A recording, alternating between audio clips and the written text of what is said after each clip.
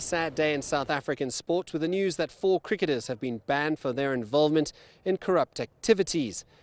It's important to point out that Cricket South Africa's investigation is ongoing, and as the CEO, Haroon Lorgat, has said, they will leave no stone unturned in their quest to eradicate corrupt individuals from the sport. The four players in question have copped bans from 7 to 12 years and have apologized for what they've done, although there's no evidence that they affected the outcomes of any of the domestic T20 matches.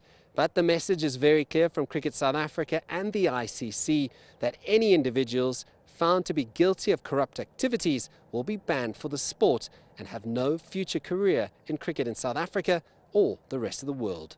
CS du Plessis, CCTV, Johannesburg.